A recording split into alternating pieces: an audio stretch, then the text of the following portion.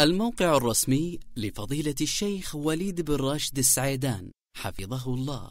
يقدم. السلام عليكم ورحمة الله وبركاته. تقول السائلة يوجد عندي في البيت أم زوجي وهي كبيرة في السن ومقعدة وأقوم بتنظيفها من دون ملابس أحيانا خاصة أنها تتنجس وتحتاج لنظافة داخلية. فهل يجوز لي أن أتكشف عورتها؟ أن؟ أن أتكشف عورتها؟ وهل يجوز لأولادها الذكور تنظيفها بستر عورتها المغلظة فقط مع وجود الزوجة كبديل؟ الحمد لله اولا أسأل الله عز وجل أن أن يجزيك عنها وعنا وعن المسلمين جميعا خير الجزاء. نعم المرأة أنت نعم المرأة أنت نعم المر- المرأة أنت. جزاك الله خيرا. رفع الله قدرك شرح الله صدرك غفر الله ذنبك أصلح الله قلبك هدى الله روعك.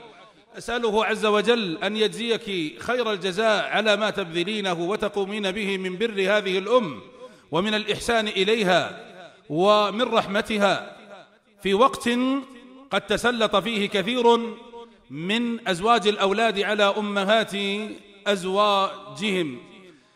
فجزاك الله خيرا أيها الأخت الكريمة وجعل كل ما تقدمينه لهذه المرأة الكبيرة المسكينة المقعدة في ميزان حسناتك وأبشري بالخير واصبري واحتسبي الاجر وبريها وأحسني إليها وتلطفي معها ثم أبشري إن شاء الله عز وجل بعظيم الأجر والثواب من الله عز وجل. يا أختي الكريمة المتقرر عند العلماء أن ما كان حراما لسد الذرائع فإنه يجوز عند الحاجة والمصلحة الراجحة. فما حرم سدا للذريعة جاز للحاجة الملحة والمصلحة الراجحة. ومما حرمه الشارع علينا أن نكشف عوراتنا. فأمرنا الشرع بستر العورات ولا جرم في ذلك والأدلة كتابا وسنة. على ذلك كثيرة جدا قد طرقت وذكرت في غير هذا الموضع. فلا يخفى على المسلم وجوب ستر عورته. ولكن هذا الوجوب مبني على عدم الحاجة للكشف. فإذا احتاج الإنسان إلى أن يكشف عورته أو احتاج إنسان إلى أن يكشف عورة غيره لحاجة معتبرة شرعا لحاجة معتبرة شرعا فيجوز حينئذ أن يكشف منها وأن يرى منها ما ترتفع به هذه الحاجة وتتحقق به هذه المصلحة. كما يحصل لبعض النساء إذا أجرين بعض العمليات التي ليس ثمة نساء يقمن بها وإنما يضطر المريض اضطرارا إلى أن يجريها هذا الطبيب فهذا الطبيب يكشف من العورة في موضع العملية ما تتحقق به المصلحة الراجحة وتنكشف به الحاجة. فإذا هذه المرأة المقعدة الكبيرة السن يجب عليها أن تستر عورتها ويجب على من حولها أن يستروها وهذا أمر معلوم وأنتم تقومون به إن شاء الله ولله الحمد. ولكن إذا تنجست أو تقذرت أو اتسخت أو ظهرت منها الروائح الكريهة مثلا لطول عهد لطول العهد بالاغتسال فلا بد حينئذ من أن تفعل يعني ما يزيل ذلك بنفسها.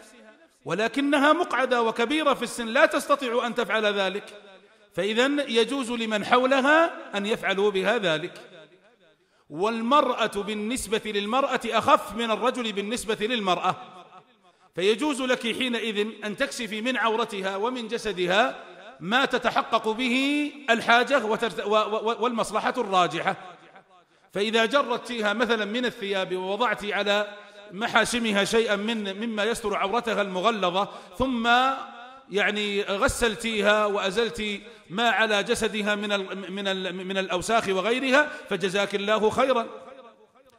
وعورته فعورتها التي تشاهدينها أو, أو كشفتيها لم تكشفيها هكذا وإنما كشفتيها من باب ماذا؟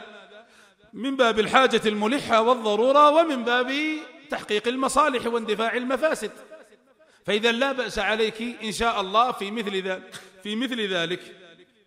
وإن لم يوجد امرأة تقوم بذلك واحتاج أحد أولادها أن يفعل ذلك فلا بأس حينئذ له أن يفعل ذلك لا حرج عليه في ذلك. لأننا نقول إن كشف عورة أمه في هذه الحالة إن كشفه لعورة أمه في هذه الحالة إنما هو من باب تحقيق المصالح ودفع المفاسد ومن باب الحاجة. إلى هذا الكشف. وإن استطعتم أن تلبسوها ثوبا رقيقا بحيث لا يبين شيء من عورتها وتدلكوها بشيء تضعونه على أيديكم كخرقة أو قفاز أو نحوه فهذا أبعد عن آه، الريبة وأبعد عن خلاف أهل العلم في هذه المسألة. فإن لم تتمكنوا من تغسيلها وإبعاد النجاسة عنها إلا بكشف شيء من عورتها فلا حرج فلا حرج عليكم في ذلك. جزاكم الله خيرا على برها والإحسان إليها والله أعلم.